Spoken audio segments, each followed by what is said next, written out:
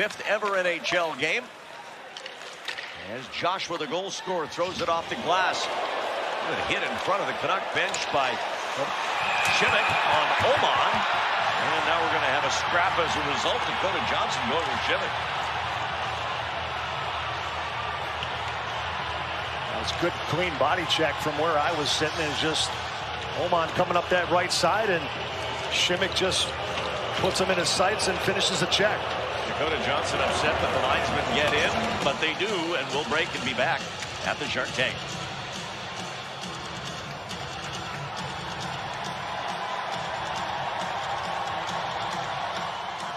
After a clean hit. This is what's wrong with the National Hockey League, folks.